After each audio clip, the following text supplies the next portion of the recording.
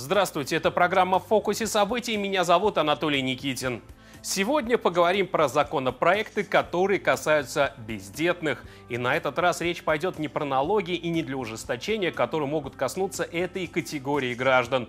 Мы расскажем о привилегиях, которые они могут получить. Сменился вектор оттепель для бездетных? На самом деле это как раз привилегии, которые помогут бездетным в итоге обзавестись детьми. Конкретно речь идет о женщинах. В Госдуме разработали законопроект, запрещающий работодателям отказывать в трудоустройстве женщинам в связи с отсутствием у них детей. Соответствующие изменения предлагается внести в Трудовой кодекс Российской Федерации. Как связаны рабочие перспективы и отсутствие детей, думаю, многие уже понимают. А если нет, то мы поясним. Точнее, даже не мы, а сами авторы законопроекта, которые все расписали в пояснительной записке.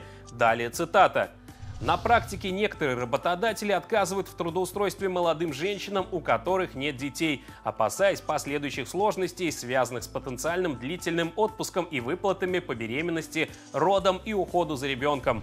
В целях исключения такого буквального толкования работодателями нормы части 3 статьи 64 ТК РФ законопроектом предлагается установить запрет для работодателей отказывать женщинам в заключении трудового договора по мотивам, связанным с отсутствием детей.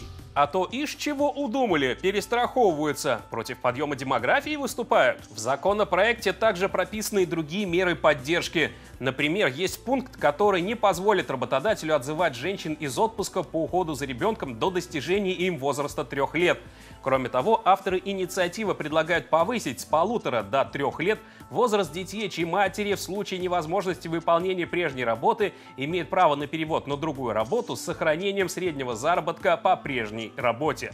Если вы не совсем поняли, что тут подразумевается, значит вы с этим еще не сталкивались. Сами же авторы законопроекта особо обращают внимание на то, что, далее еще одна цитата, Законопроект разработан в год семьи и направлен на поддержку материнства и повышение гарантий права на труд для женщин. Разработан в год семьи, но и в другие годы будет актуален, ну, если поддержку получит.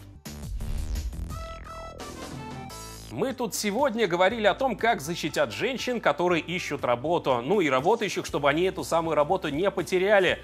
Но оказывается, россияне вообще стали заметно меньше опасаться потери рабочего места. И в данном случае речь уже о представителях обоих полов. Согласно исследованию, которое провели специалисты Центра Институт социального анализа и прогнозирования РАНХИКС, доля занятых россиян, опасающихся потерять свое место работы, за последние два с половиной года снизилась с 16% до 10%.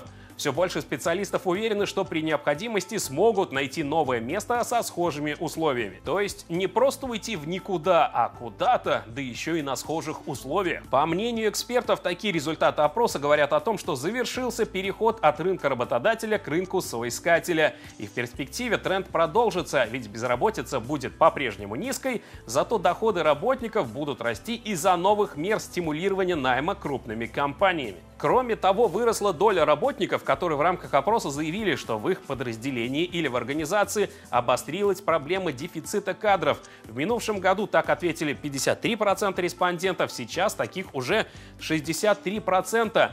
Проблема дефицита кадров, а вы говорите бездетным женщинам в найме отказывают. Непозволительная роскошь при таком-то раскладе. Может быть и законопроекты отдельные не понадобятся. Рыночек сам порешает.